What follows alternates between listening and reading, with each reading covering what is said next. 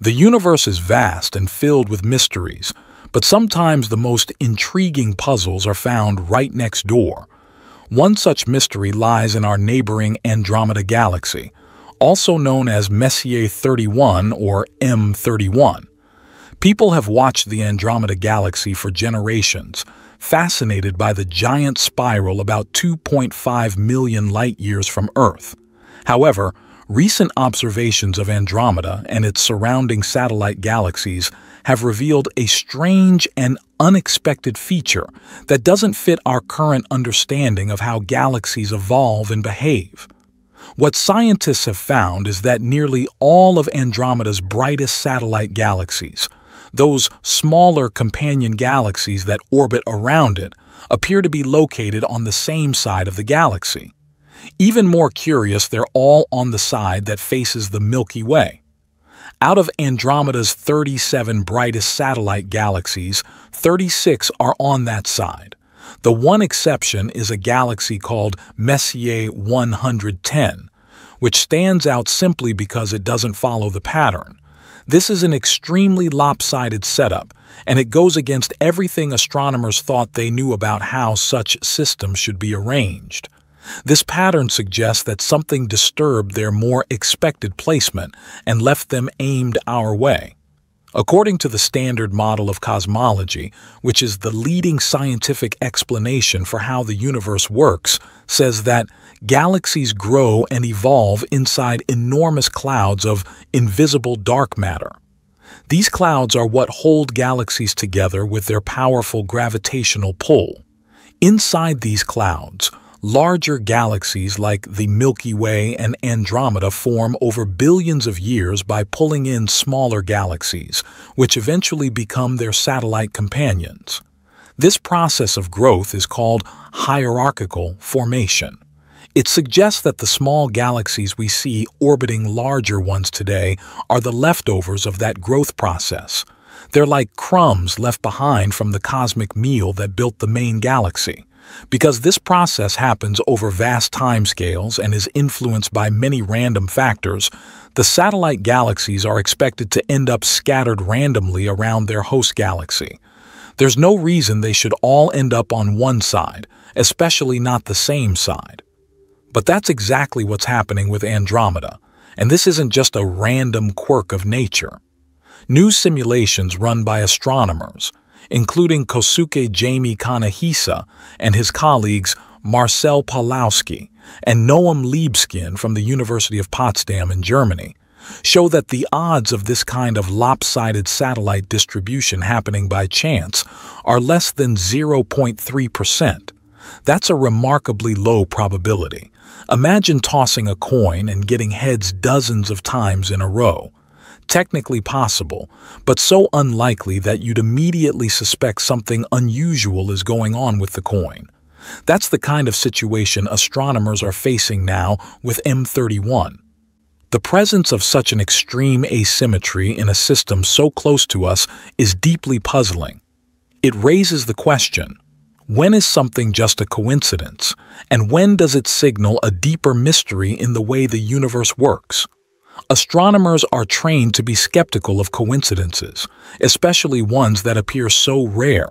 If the satellites are arranged this way, they reason, then there must be a reason for it. Some force, event, or condition that caused it to happen. One idea is that this alignment may be temporary. The satellite galaxies are all orbiting Andromeda at different speeds and distances. Over time, say in another billion years, their positions will likely change. They may spread out and look more randomly distributed again. That would suggest we're simply catching them at a weird moment in time. But again, the odds of randomly catching this moment when the alignment is so perfect and so lopsided are incredibly small. And if the alignment really is a temporary coincidence, it's still the kind that scientists struggle to accept without a better explanation. After all, in science, if something looks unusual, the instinct is to dig deeper until the cause is understood. There's always the chance that what seems like a random fluke might actually be the result of something new and previously unknown, something that could challenge or even change existing theories. So what could be causing this odd behavior in the Andromeda system? One possible explanation is that Andromeda recently experienced a major galactic merger. About 2 to 3 billion years ago, scientists believe that Andromeda collided with and absorbed a mid-sized galaxy. This kind of cosmic event is extremely violent and chaotic. When galaxies collide, their stars, gas, and dark matter interact in complex ways, leading to massive changes in their structure and behavior. The Hubble Space Telescope has even observed remnants of this event in the form of star streams and bursts of star formation within Andromeda. It's possible that many of the current satellite galaxies were dragged in along with the galaxy that merged with Andromeda. If that's the case, they might still be clumped together because they haven't had enough time to spread out. That could explain the strange alignment, at least partially. But there's still a big question. Why are they all on the side facing the Milky Way? Even if they arrived together, it doesn't explain why they'd all be grouped so neatly in that particular direction. Some scientists have even floated the idea that the satellites might somehow be pointing toward the cause possibly the Milky Way itself. But this idea has problems too. If the Milky Way played a role in influencing the position of Andromeda's satellites, we'd expect to see a similar pattern in our own galaxy. That is, our own collection of dwarf galaxies should be grouped in the direction of Andromeda. But they're not. The Milky Way's satellites are scattered in a different pattern. Also, the gravitational pull between the Milky Way and Andromeda isn't strong enough to neatly organize Andromeda's satellites in this way. Of course, there are still some uncertainties and caveats.